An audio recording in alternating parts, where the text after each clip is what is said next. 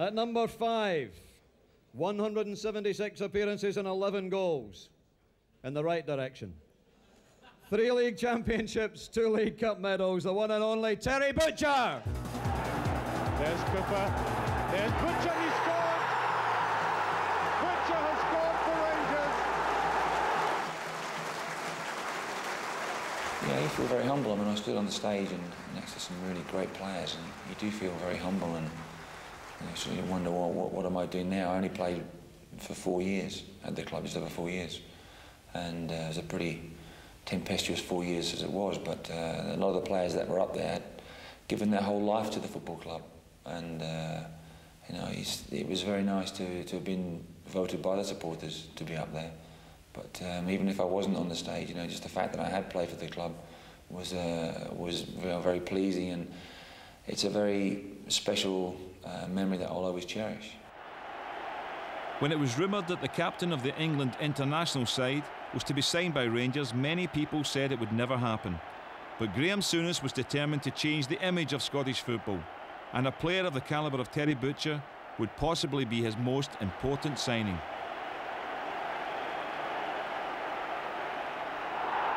Now that is a free kick. Free kick to Rangers. Wilkins will take this. Is Butcher with it? It's in! Butcher, the equaliser. Although not born a Rangers supporter, Terry quickly became wrapped up in Rangers and all it stood for. He rapidly earned the respect of his fellow players and supporters. In his first season, Rangers won the League Cup, but as always, the Championship was of paramount importance. Rangers travelled to Aberdeen, knowing that a draw was all that was needed to win the league.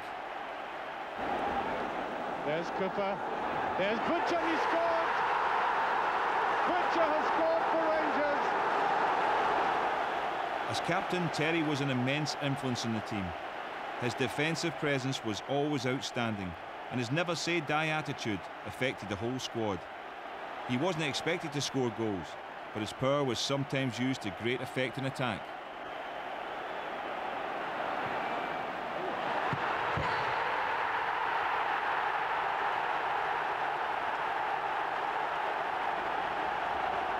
Butcher.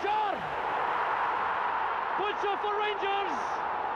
Five minutes gone. A dream start for Rangers. The presence, the physique, the heading ability of Terry Butcher exemplified with that tremendous effort. The power beat Pat Bonner. Terry's style of play and commitment to the club rightly place him in the greatest Rangers side ever. Even today, he still remembers his Ibrox days with a sense of fulfilment. And once you play for Rangers, you'll always be uh, a teddy bear, as they say, but you'll always be part of that family. And, and to have been part of a, a Rangers squad, whether it be successful, whether it be um, relatively a poor side or a bad side or whatever, you're still part of it. And you still will always be classed as a former Rangers player. I think that's a, it's a good thing to have in your CV, but uh, more importantly, it's a good thing to have in your heart because it, Rangers Football Club will always be there.